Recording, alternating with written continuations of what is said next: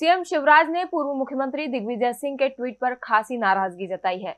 चौहान ने कहा, दिग्विजय की बुद्धि फेल हो गई है। उनका फेलियर है ये। वे देश की सेना का अपमान करते हैं, वे पाकिस्तानी भाषा बोलते हैं और सेना का मनोबल गिराने की कोशिश करते हैं। कांग्रेस नेता और पूर्व मुख्यमंत्री दिग्विजय सिंह का भारतीय सेना को लेकर ट्वीट का मुद्दा अब काफ़ी गर्माता जा रहा है। वही दिग्गी के ट्वीट को लेकर सीएम शिवराज ने इस पर काफ़ी नाराज़गी जताई है।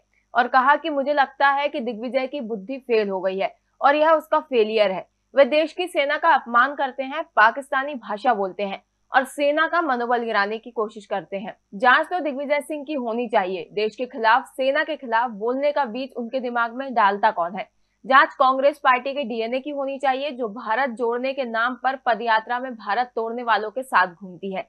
चौहान ने कहा, यह अजूबा है कि एक पार्टी का नेता लगातार सेना की राष्ट्रभक्ति पर प्रश्न चिन्ह लगा रहा है। उनकी बहादुरी पर प्रश्न चिन्ह लगा रहा है। पाकिस्तान की भाषा बोल रहा है।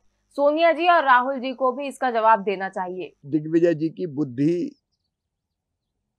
मुझे लगता फेल हो गई है, उसका फेलियर है ये। वो देश की सेना का अपमान करते हैं। वो पाकिस्तान की भाषा बोलते हैं। वो सेना का मनोबल गिराने की कोशिश करते हैं। अब जाँच तो दिग्विजय सिंह की होनी चाहिए। देश के खिलाफ, सेना के खिलाफ। बोलने का बीज उनके दिमाग में डालता कौन है? जाँच कांग्रेस पार्टी के डीएनए की होनी चाहिए। जो भारत जोड़ने के नाम पे भारत तोड़ने वालों के साथ घूमती है पदयात्रा में।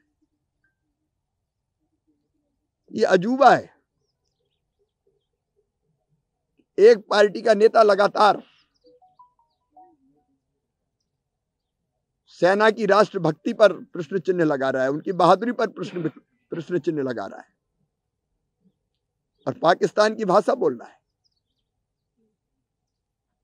सोनिया जी और राहुल जी को भी इसका जवाब देना चाहिए। वो खबरें जो आपके काम की है वो खबरें जो आपके लिए ज़रूरी है। हर आम और खास से जुड़े मसले। हर मसले का सटीक विश्लेषण। हम करते हैं सत्य का अन्वेषण। दखल न्यूज़। आपके हक में।